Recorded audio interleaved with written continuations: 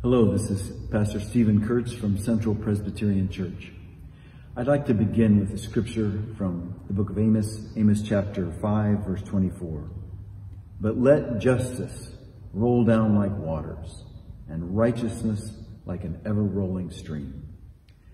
I'm here today to talk about the subject of businesses. Black-owned businesses, just like nearly all businesses, have suffered during this COVID-19 epidemic because of the loss of business. But even more so because the black community has suffered so disproportionately from the virus. Now, during this time of national outrage and protest over the senseless killing of George Floyd, which has become a symbol not of only his own death, but of the people of color who have so disproportionately borne the brunt of brutality in this country for so many years. And this is a time of lament.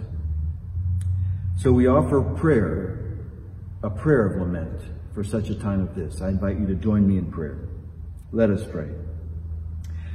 God of justice, we cry out against the kind of endemic, systemic racism that makes black owned a special category as if there were two levels of legitimacy for people doing business in America.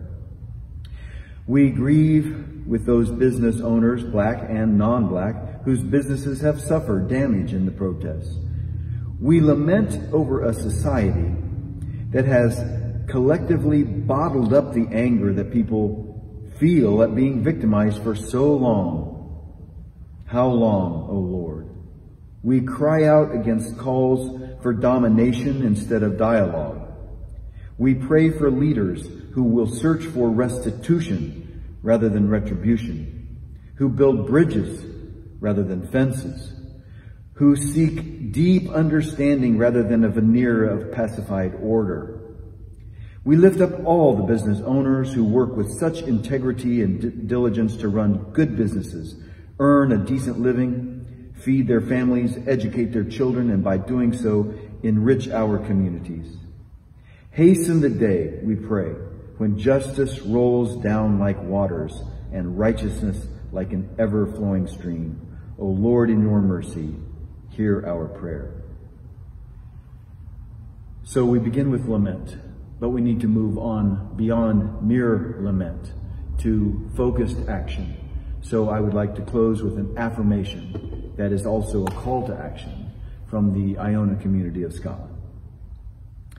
We believe that God is present in the darkness before the dawn, in the waiting and uncertainty, where fear and courage join hands, conflict and caring link arms, and the sun rises over barbed wire.